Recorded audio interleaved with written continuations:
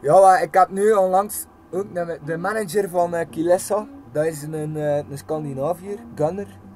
En die man heeft Ja. ons uh, op een lijst gezet om uh, verschillende interviews te doen. Waarom, dat is een lijst waar dat er bijvoorbeeld op staat Mastodon, Tool, noem maar op. Ja. Tool, Ja, jong. ja, dus, Oh ja. eh, dus Die staan nog op mijn- Die staan nog op mijn lijstje.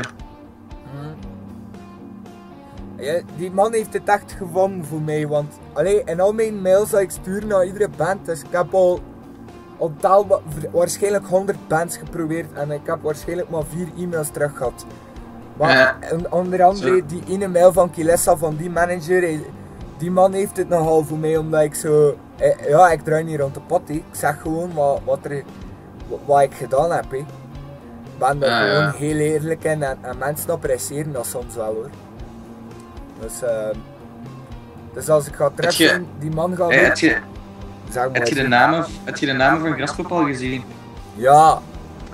En heb je de prijs al gezien? 185 per drie dagen, zo wat. 95. 85. Ja, maar in 2005 was het nog geen 100 euro. Dat is... Ja, ja, ja, oké, maar als je naar Werchter kijkt, kijk eens hoe fucking, hoe, hoeveel dat, dat kost. Dat is fucking gestoord en ze hebben alle, ze hebben de Werchter en een week opgeschoven naar voren. Ja, dat Omdat, eh, ja, ja. Omdat U2 zou voor- afkomen. Nee, nee, nee, voor de Foo Fighters. Wat? Voor de? The Ja. Come on, Dave Kroll, dat is geen rock and roll. Die heeft gewoon... Weet je wat? Dave Kroll is verantwoordelijk voor, voor het... ehm, het ehm, commercialiseren van, van het genre. En dat is een van de slechtste dingen dat je kunt doen, joh. Ja.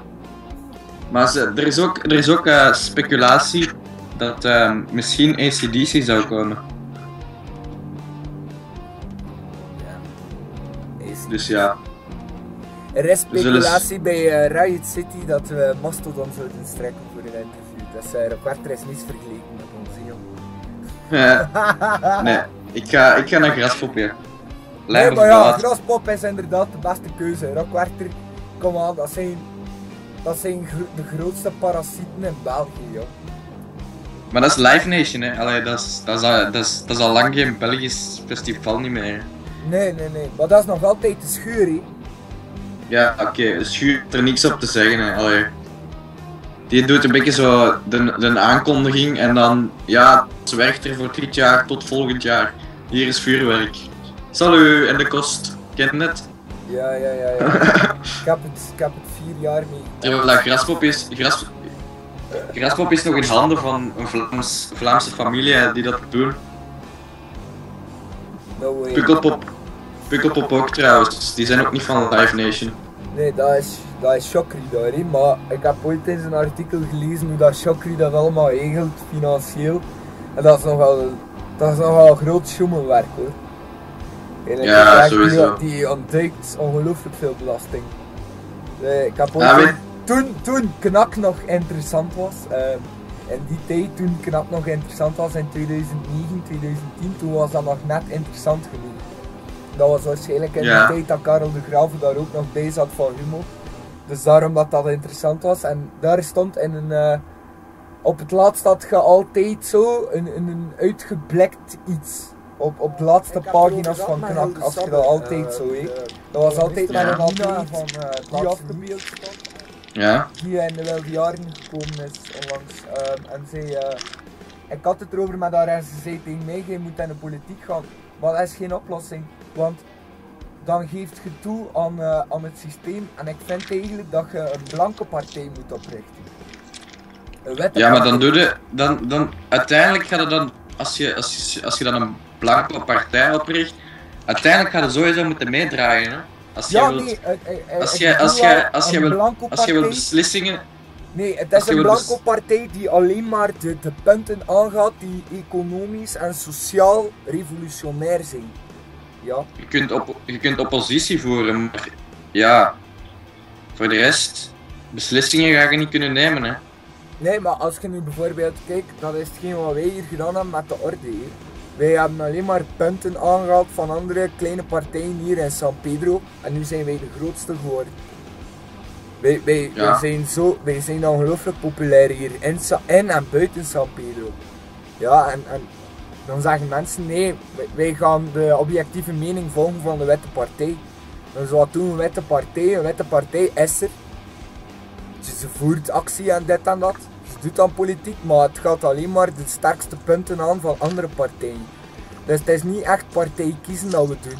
We, we- wij Ja. nemen de objectieve beslissing en dan kan de burger bijvoorbeeld zeggen of de landgenoot zeggen van ja oké, dit, dit, dit is het meest eh, contributionaire ehm, gebied dat zij aangaan en, en daarom stemmen wij op de witte partij.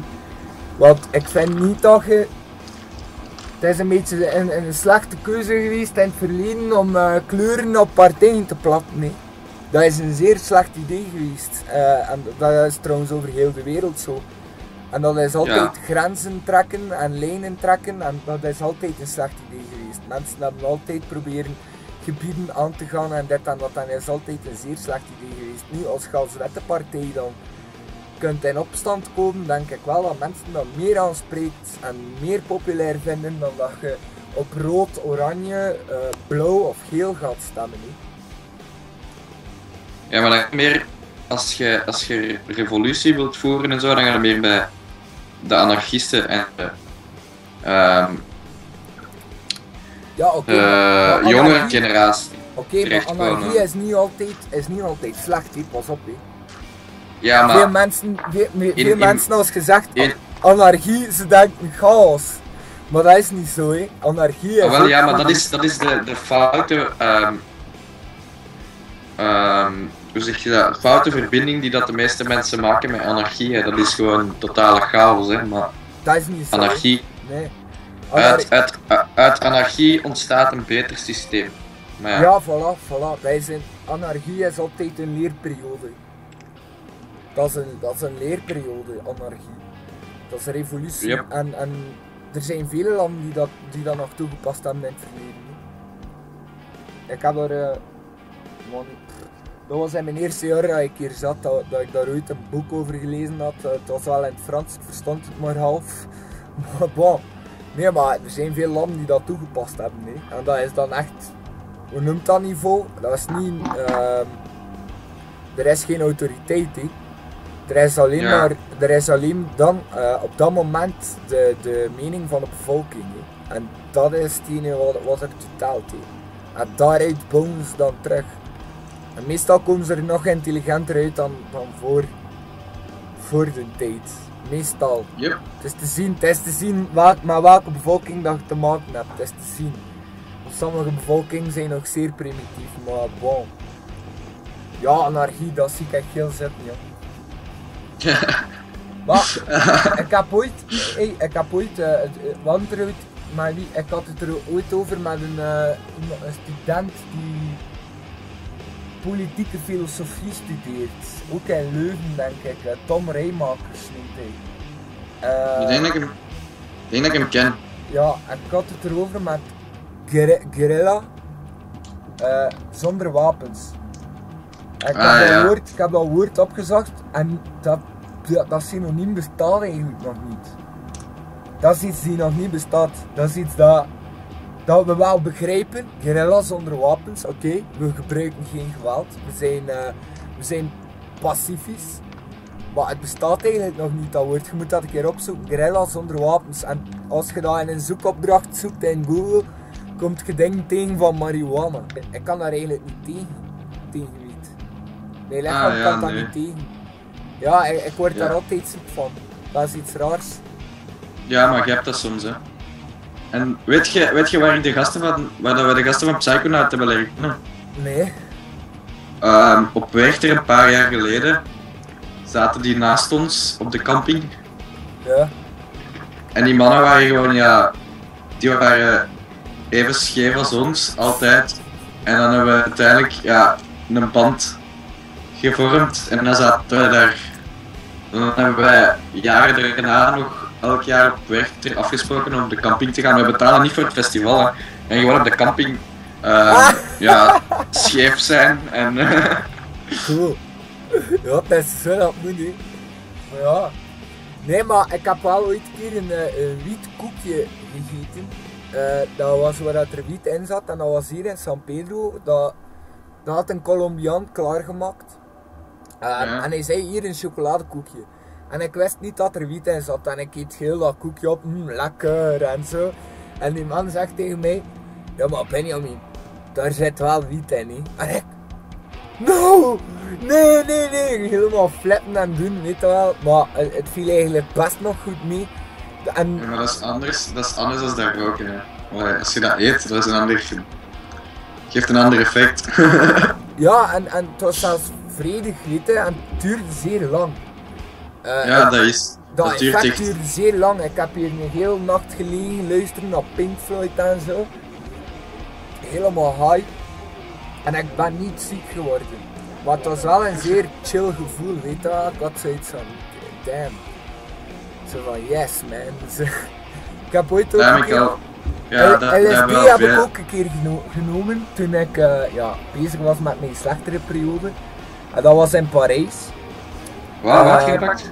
LSD genomen, ja, en geluisterd ah, naar King. Nee, maar ik heb toen, toen ik LSD genomen had, eh, toen zat ik uh, samen op, op appartement bij een, uh, een dochter van een tamelijk bekende en rijke man.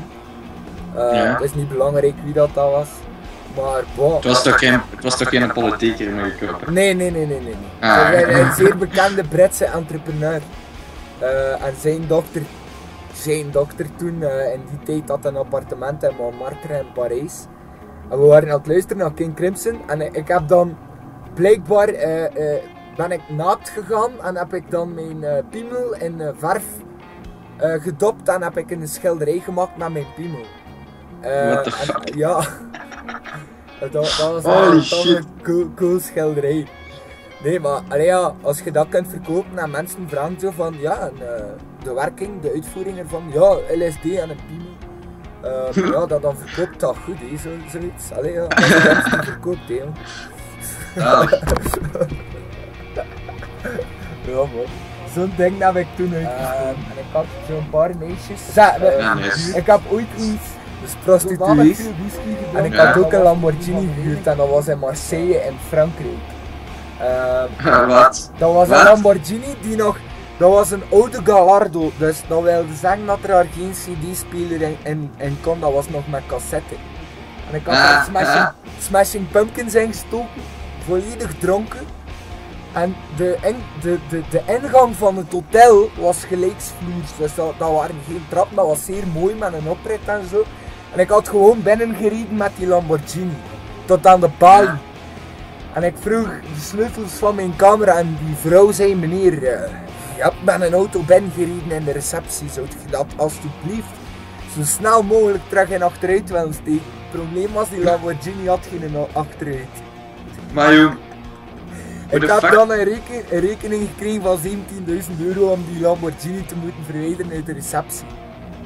Ja, de dag erachter, ja. Allee, ja, kerel. Die verhalen moet je mij toch niet vertellen als je terug bent, zeg. Ik heb er veel hoor. Veel. Gestoord. Ik heb ooit nog in een lift gestaan uh, met Martin Scorsese, zonder dat ik het wist. Jong. Echt waar, in Miami. In Miami was dat, in een hotel. Uh, ik stond in een lift met mijn kameraad en ik wist niet wie dat was ik, ik had die naam al gehoord en ik wist wel van die films, The Departed en zo en dit, Gangs of New York. Uh, maar ik, ik wist begot niet hoe dat die man eruit zag. En toen die, man uitstapte, ging hij verder naar boven, dus naar onze lobby. En die, kameraad zei tegen mij, hey, we just stood, stood next to Martin Scorsese. En ik, what? Mhm. No way, en ja. Dat zijn zo allemaal van die dingen dat ik nu gemaakt heb. Ik heb ook nog ooit een model van Vogue geneukt. In New York. Ja. Zo, ja. En dat zijn dingen dat je op het moment zelf niet weet, als je dat doet, maar dan dag erachter. Ja, je kijkt dan naar op, op, op welke naam staat deze, deze kamer en dan uh, ja, een maand erna ziet je dan naar een naam staan op de Vogue. Wow. Dat is, eh, ja, oké, crazy shit, man. Oké, ja. Ja, ja. Dat zijn, maar zelfs zonder, zelfs zonder dat, dat geld van die drugs maakte ik vroeger zo van die rare dingen mee, hoor. Dus, eh, Ja. mijn leven een beetje. Maar je hebt er niks meer van over.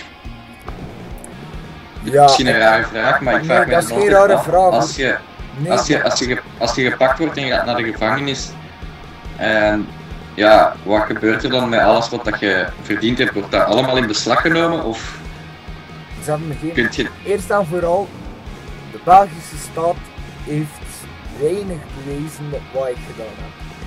Dat is al het eerste. En het tweede, ja, ik heb inderdaad een, go- een goede berg geld liggen ergens in een depot. Maar het probleem is, kijk, weet je wat dat is? Ik kan, daar, ik kan daarachter gaan lopen, niet. dat kan ik doen, niet, maar ben ik dan wel eerlijk? Ja, ik weet niet, je kunt er iets moois mee doen. Hè. Je kunt alles wat dat je... Ja, waar, wat, dat je mis, wat, dat je, wat, dat je, wat dat je mis hebt gedaan, kunt je rechtzetten. Oké, dat is misschien allemaal drugsgeld, maar je kunt wel goed doen. Je kunt iets goed doen met dat geld. Ja, dat is waar. Ook al- Ik kan moeilijk toekomen in België met ehm 230.000 euro en zeggen dat ik het gevonden heb op de toiletten in Antwerpen Centraal. Nee, nee, nee, nee, natuurlijk niet, maar... Er zijn ook wel eh, achterpoortjes, hè. Ja, maar die achterpoortjes worden bij mij zwaarder onderzocht dan bij, bij, bij gelijkbare personen. hè.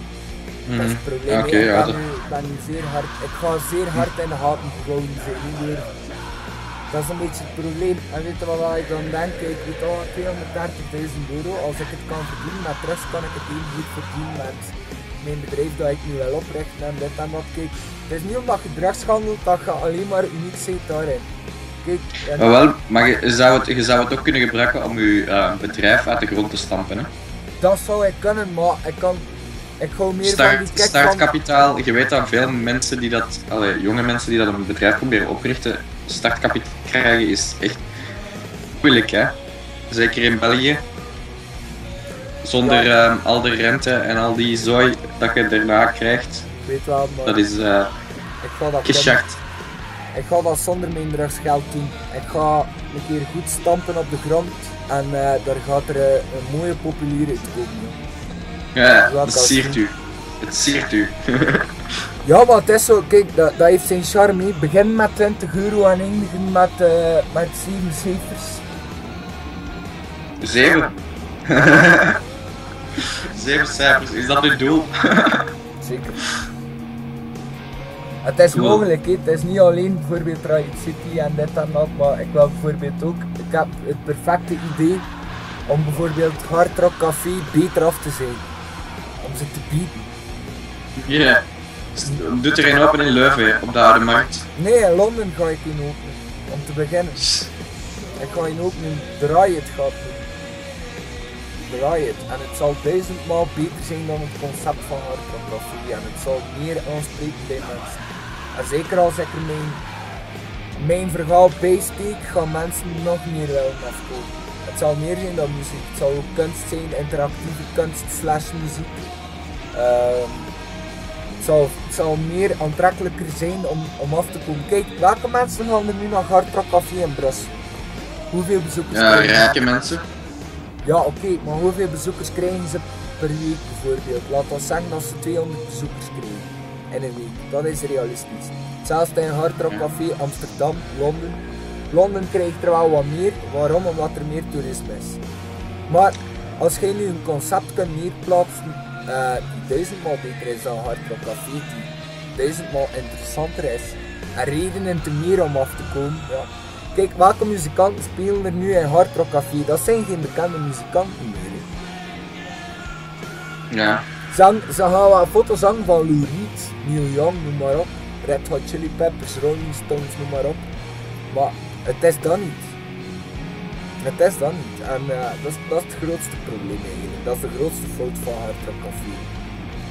Ik wil bijvoorbeeld in een week tijd drie bekende bands placeren, bijvoorbeeld in een underground van de Riot. Bijvoorbeeld in de Ja. onderste kamer. En in de bovenste kamer wil ik natuurlijk weer wat nieuw talent laten aan bod komen. Ik wil het echt gezellig en doenbaar maken voor de gemiddelde mens, voor de middenstand. Eh, want het is alleen maar, ja, als je een pint gaat kopen in, de, in eh, als je een pint vraagt, je zet dan 3 euro hè. in het Hard Rock Café. Dat is ongelooflijk duur. hè. Wat als ik nu bijvoorbeeld 1,50 euro vraag, of, of, of 1, Ja, 1 maar pond en een half je weet dat Lon, je weet dat Lon de duur is, hè.